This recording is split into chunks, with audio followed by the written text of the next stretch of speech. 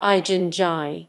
Eigen-ji Yong-UNC is one of 14 autonomous branches of the Rinzai school of Japanese Zen, founded in 1361 by the lord of Omi province Sasaki Ujiyori.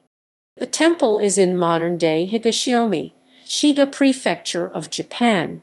History Eigen-ji's first abbot was the famous poet and Roshi Jakushitsu Genko was a popular destination for members of the five mountain schools of Zen during the Onin War of the 15th century.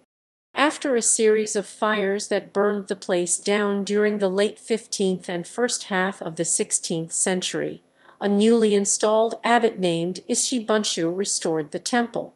He is commonly referred to as its second founder.